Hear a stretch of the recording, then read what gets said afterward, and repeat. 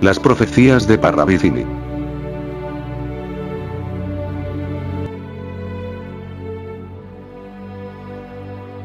Benjamín Solari Parravicini en sus profecías, ha dedicado una gran parte a predecir lo que sucederá en la Argentina. Entre ellas se encuentra profetizado, parte del pasado de la Argentina, el presente por el que el país está pasando, hasta incluso el futuro que le depara a este país. Entre sus psicografías se pueden encontrar diversos hechos de enorme relevancia, que han sido profetizados, ya cumplidos, y por cumplirse.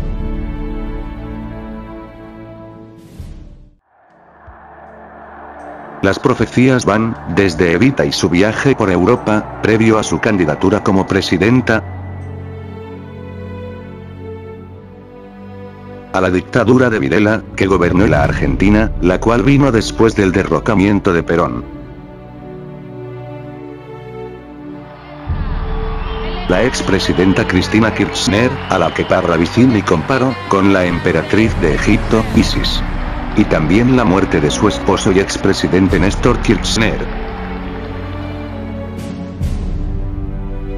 La elección de Jorge Bergoglio, como el nuevo Papa de la Iglesia Católica, Francisco quien será el último Papa, al que Parravicini comparó, con Pedro el Romano.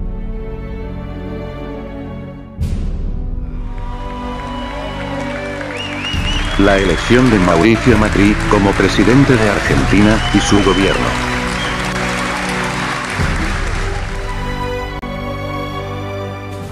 Y más, lo que vendrá después para Argentina, una gran prueba, que será la Revolución Francesa, un parto doloroso que traerá una nueva Argentina generando un cambio que se extenderá hacia toda Latinoamérica, trayendo una nueva visión, que será el comunismo cristiano. Y el hombre gris, un nuevo sol, un nuevo líder, que guiará al país en la Revolución Francesa. Además de como Argentina, será la luz del mundo, siendo luego de la Revolución Francesa, el ejemplo a seguir para los demás países de Latinoamérica.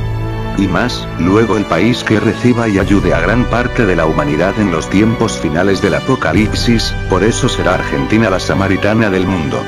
Cabe aclarar que no ha profetizado precisamente todo, solo los hechos más importantes y relevantes, por los que pasó y pasará este país.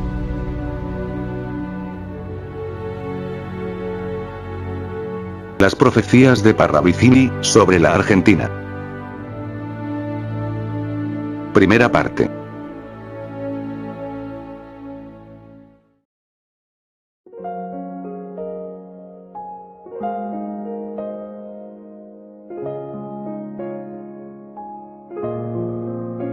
La profecía, de Eva Perón.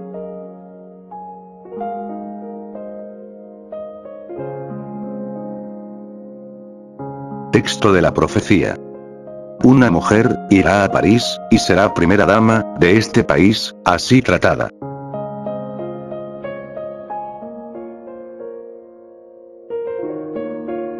Esta profecía de Parravicini, sobre Evita, ya se cumplió. Es sobre el viaje que realizó Evita, por Europa, visitando varios países de este continente, previo a su candidatura como presidenta.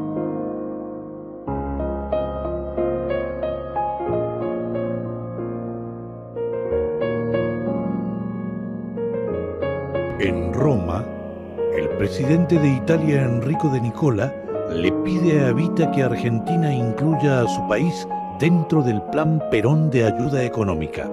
El Plan Perón, en oposición al Plan Marshall, tendía a dar todo tipo de facilidades a los países más pobres. De amplia capacidad negociadora, abolió los intereses excesivos en los empréstitos y posibilitó diversas alternativas de pago como por ejemplo el trueque. Se firma el acuerdo.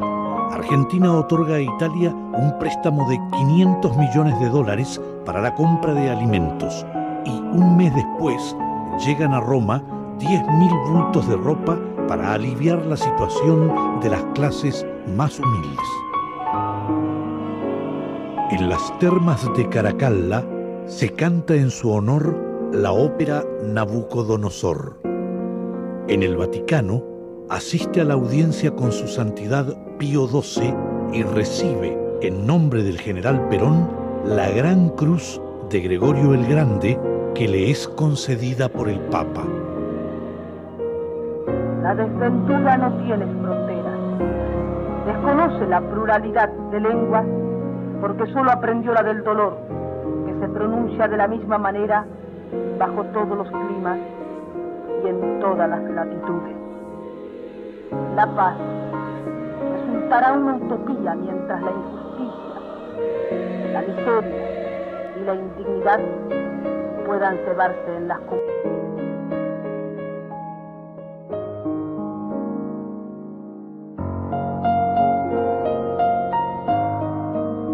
Evita y su viaje a Europa.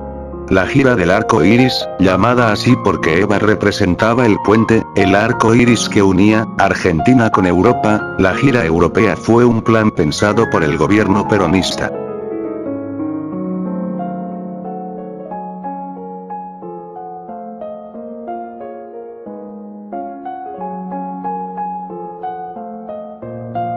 Entre los países que Evita visitó, está España, Italia, Francia y su capital París, al cual la psicografía de Parravicini hace referencia. La psicografía de Parravicini nos deja un texto el cual dice, una mujer argentina, irá a París, y será primera dama de este país, así tratada. Además de esto, al interpretar el dibujo de la profecía, nos deja otro mensaje, sobre Evita, y los acontecimientos próximos. En la psicografía, se puede ver, a la figura de Evita, en el centro de un triángulo, en la parte inferior de la psicografía, se puede ver, la Torre Eiffel.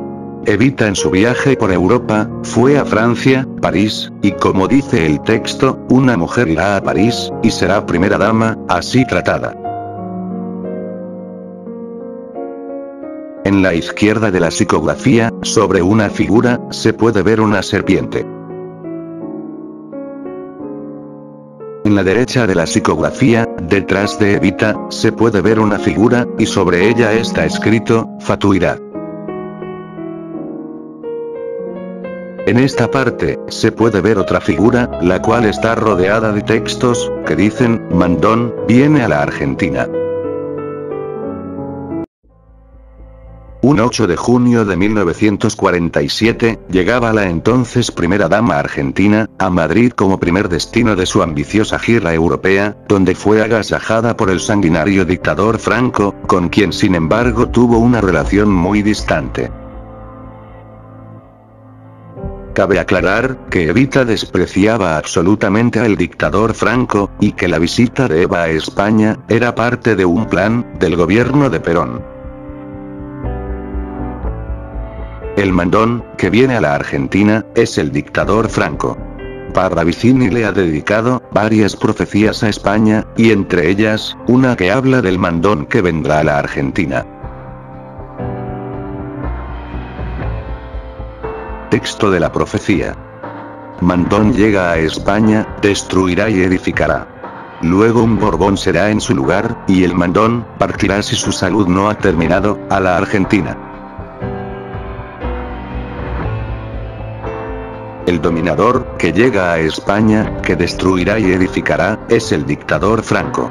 Después de este en su lugar, será el rey Juan Carlos I, que fue un Borbón. Como dice el texto de la profecía, el mandón partirá si su salud no ha terminado, a la Argentina. Esta profecía, ya se ha cumplido, el dictador Franco, en varias ocasiones, confesó querer pasar sus últimos días de vida en Argentina, este no lo consiguió, ya que falleció en España. En la psicografía, se puede ver en la mano de Evita, un cigarro. También debajo de Evita, se puede observar, una luna muy parecida, a la que lleva bajo sus pies, la Virgen María.